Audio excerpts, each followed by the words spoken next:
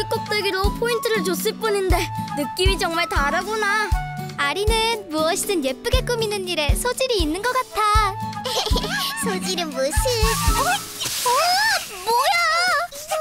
쟤네들은 아직도 저러고 있네.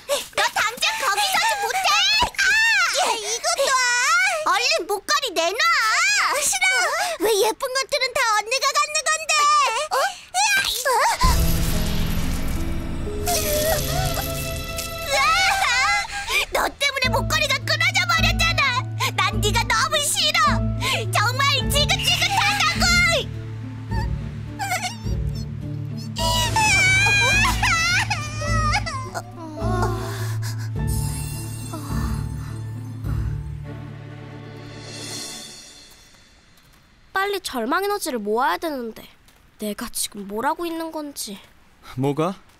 모처럼 친구가 생겨서 즐거워 보이던데. 아니거든. 친구는 무슨 친구? 여기 빨리 와서 밥 같이 먹어요. 알았어. 엄마는 왜 나만 갖고 그래? 소미가 잘못한 건데 맨날 나만 혼내고. 엄마 무슨 소리야? 난 동생 같은 건 필요 없단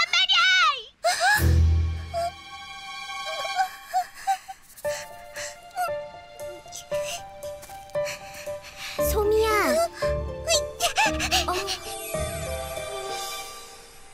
절망할 것 같은 사람 발견?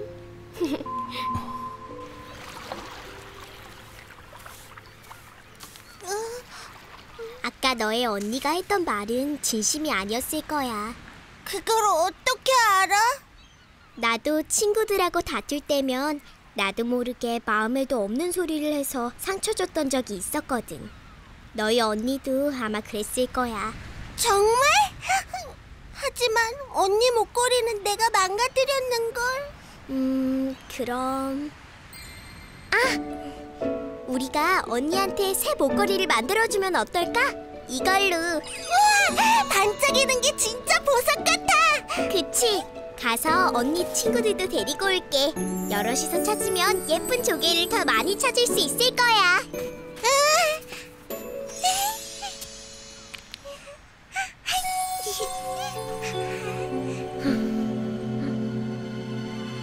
이걸 찾니? 우와! 예쁘다! 그거 내가 가져도 돼요? 이거 모아서 뭐 하려고?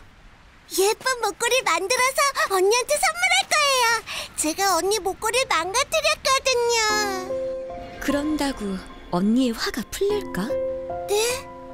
넌 늘 언니의 소중한 물건을 탐내고 그걸 망가뜨렸지? 네가 잘못했는데도 엄마한테 혼나는 건 늘 언니였을 테고 언니는 아마 속으로 너 같은 동생은 없어져 버렸으면 좋겠다고 생각할 거야 그런데 겨우 그렇게 초라한 조개 껍데기로 목걸이를 만든다고 해서 언니의 기분을 풀어줄 수 있을까? 맞아. 이런 걸로는 언니가 화가 풀리지 않을 거야.